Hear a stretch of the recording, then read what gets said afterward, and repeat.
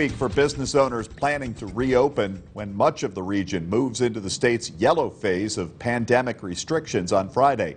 Samir Nefsi joins us now live in the newsroom after talking to local business owners who are trying to prepare to open under this new norm. And Samir, still a lot of unanswered questions, right? Yeah, good evening, Sean. There are still many unanswered questions, a lot of gray areas for these businesses. However, County Executive Kathy Dahlkemper is still seeking clarification from the governor's office regarding the businesses that can open during the yellow phase.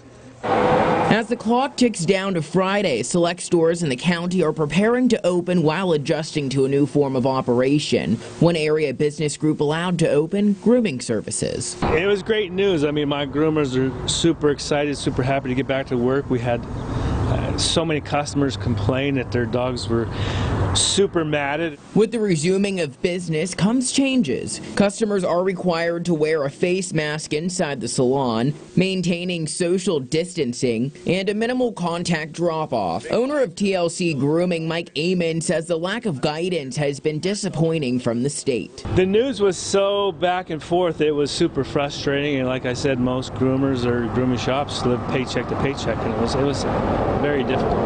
And the owner of the Sassy Peacock says she's excited to open her business come Friday and optimistic with how business will go. It's hard because everything comes out of the business, like where I live, you know, your car payment, everything.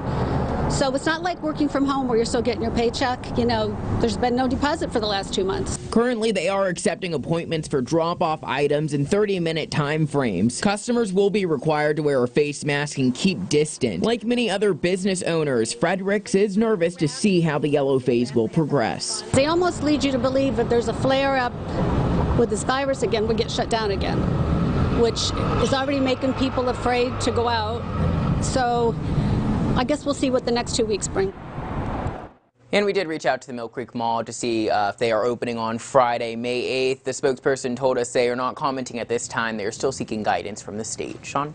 Samir Nefsi in the newsroom tonight. Thank you, Samir.